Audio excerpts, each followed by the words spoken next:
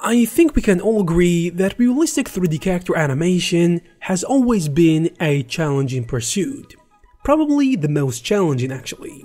However, in recent years, there was a tool that goes by the name of Ziva VFX which totally revolutionized this genre and came to the industry to help VFX artists create all sorts of creatures in blockbusters, whether it be animals, humans, or fantasy creatures.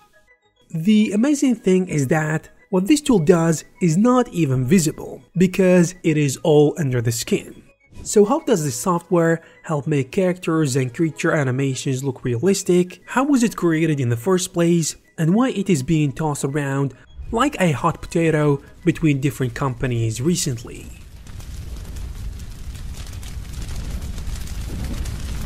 Before we continue, let me tell you about RenderHub. RenderHub is one of the best platforms for 3D assets out there.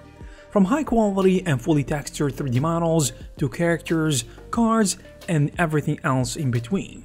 Spanning a long list of every major category like people, animals, food, interior design, environments, and much more. So if it is art related, you can probably find it here. There are also a ton of 3D printing ready models, if you are into that field. And RenderHub is not just a storefront. It is also a perfect place if you want to sell your creations. It is super intuitive, and it provides you with all the tools you need to organize, keep track of your sales, create coupons and discounts, in addition to other stuff. Not to forget that RenderHub is a great learning platform, and they host 3D competitions regularly. So if you want to join a thriving community, learn, sell, and participate in great challenges, you can click the link in the description down below. Now back to the video. Ziva VFX came into existence in the creative labs of Ziva Dynamics, a company that was founded in early 2015 by James Jacobs, an Academy Award winner for his contribution to the development of the tissue physically based character simulation framework, which is hard to say. Imagine how much work went into actually doing it. Another founder was the TR35 winner, Dr. Jernej Barbič, a professor at the University of Southern California. Together, they combined their contrasting expertise of both working at prestigious VFX studios like Weta Digital and academia with a mission of making CGI animations better. But how they did this you might ask? Well, with Ziva VFX, which was originally developed as a plugin for Autodesk Maya one of the most used software in creative industries, especially for animation. And ever since then, Ziva VFX has evolved into a powerhouse of a toolset by taking advantage of well-established methodologies from engineering and computer science. Even if you haven't heard of it before, chances you have already seen Ziva VFX in action in blockbuster movies and TV series such as Game of Thrones, Pacific Rim, and John Wick, just to name a few. But how does it work? Well, what makes Ziva unique is how it takes a different approach from traditional 3D animation methods, where instead of relying exclusively on manual rigging and animation techniques, Ziva offers a simulation-based approach that relies on the fundamentals of real-world physics and how soft tissue such as muscles, fat, and skin function to create lifelike CGI characters and create anatomically accurate animations, which respond dynamically to movement, gravity, and external forces, so then everything moves the way audiences expected it to be, just like in real life.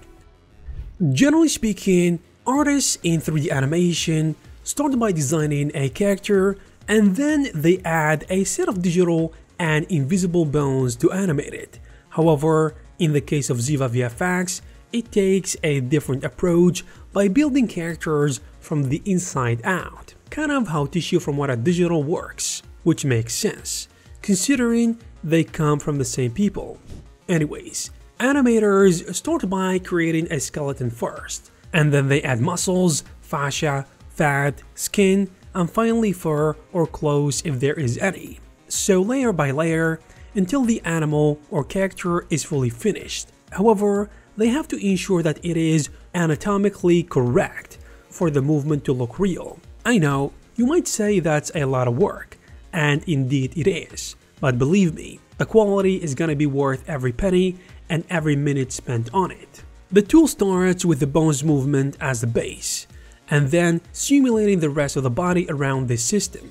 For example, every muscle is attached to other muscles, and then they are solved with a FEM solver, a technology that is used in engineering and physics to analyze and simulate the behavior of complex structures and materials under various conditions. After that, the muscle will drive the fat simulation, and then the fat sim becomes the attachment for the skin, and so on and so forth.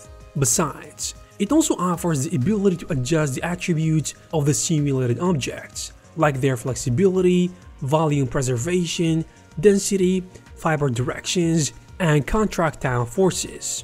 These simulations are then connected with Ziva attachments so that they can react and collide realistically with each other. To achieve all this, Ziva relies on the power of machine learning and alternative simulation techniques to simulate how muscles and character animations behave in realistic ways, based on the laws of physics and anatomy. And as humans, our brains are unconsciously able to recognize and interpret realistic movements, with a subconscious understanding of how muscles move and interact. That's why it is easy to spot something that does not look realistic without even knowing it, which is amazing how our brain works. As a result, it is important for the industry to have this kind of tools, which can offer a semi-automatic way to produce CG animations that are similar to the movements in the real world. And it removes a difficult step from the rigging process, which would take years upon years of practice in anatomy to master. Please keep in mind that we are just touching the tip of the iceberg here, and this is just an overview of this technology since we can't cover all of this in this video alone. So, as we have previously mentioned, Ziva has forged a name for itself in the VFX industry by becoming a household name with over 200 of the top VFX studios using it, including heavy hitters like MPC, DNEG, and Scanline. And in 2019, Ziva won the Monolith Award for Technology, which is a prestigious award that represents the most outstanding innovations in technology and it was voted by a board of entertainment and software industry professionals, including representatives from the likes of Universal Pictures, Warner Bros., Microsoft, and Adobe, among many others. One of the earliest productions that used the tool was Sony Pictures Imageworks when working on Suicide Squad in 2016, because around the same time, Ziva Dynamics was doing a closed beta of their new muscle technology, and they decided to give it a shot, doing a closed beta for the simulation of the muscles of the Enchantress character to make it look as realistic as possible. And while the movie itself didn't live up to the hype, from a storytelling perspective at least, the CG Enchantress character was so convincingly lifelike to the extent that it was difficult to distinguish her from the real actors, which truly showcased the impressive capabilities of Ziva Dynamics from the get-go. Just like how Mark Breakspear a VFX supervisor at Sony Pictures Imageworks stated, Ziva is an amazing software. It helped us animate Enchantress in a way that you look at her and you go, oh, why is she CG? That was a big achievement. I think virtually that was a real payoff. And it's one of those things where you know it's gonna work, but you don't really see it until very close to the end.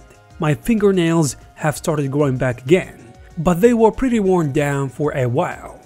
From there, Ziva VFX was adopted and seen at almost every corner of the VFX production industry.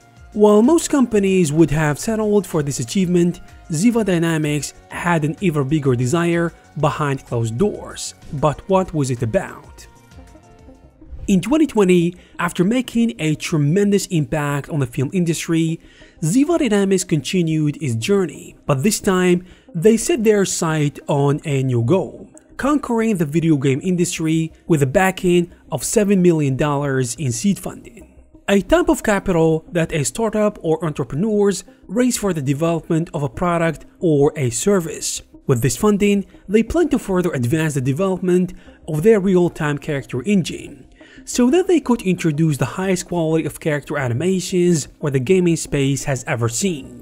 However, let's just say, with the ambition of entering the game industry, they caught the attention of a rather a familiar player. You see, in 2022, to the surprise of many, Unity announced the acquisition of Ziva Dynamics for an undisclosed amount and Unity plan was to make Ziva's lineup of tools available for all game developers and artists regardless of their skill level. And about the topic, James Jacobs, the CEO of Ziva Dynamics at the time, expressed to virtualhumans.org that the two companies share the same vision of empowering digital artists. And joining forces with Unity means Ziva Technologies will be able to do more, as well as reaching a much larger audience of 3D content creators. But is this really true? Unfortunately, this is not the case anymore.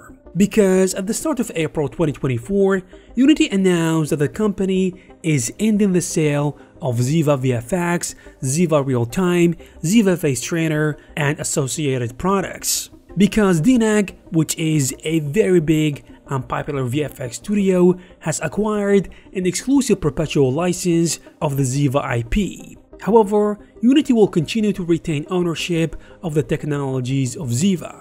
On a side note, the financial details of the deal have not been disclosed, as usual. And even though Unity explains that the sales and support are ending, active subscribers have the option to convert their existing license to a 5-year term so that they may continue using the product beyond their existing license, which is I think the only positive outcome in this current deal for the existing users of Ziva VFX.